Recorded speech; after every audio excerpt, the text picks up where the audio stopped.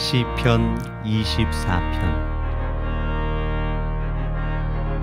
땅과 거기에 충만한 것과 세계와 그 가운데에 사는 자들은 다 여호와의 것이로다. 여호와께서 그 터를 바다 위에 세우시며 강들 위에 건설하셨도다. 여호와의 산에 오를 자가 누구며 그의 거룩한 곳에 설 자가 누구인가?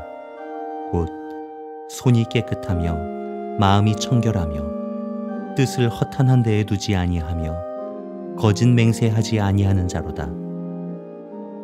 그는 여호와께 복을 받고 구원의 하나님께 의를 얻으리니 이는 여호와를 찾는 족속이요 야곱의 하나님의 얼굴을 구하는 자로다. 문들아 너희 머리를 들지어다 영원한 문들아 들릴지어다 영광의 왕이 들어가시리로다.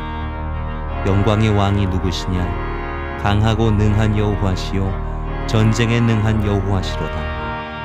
문들아 너희 머리를 들지어다. 영원한 문들아 들릴지어다.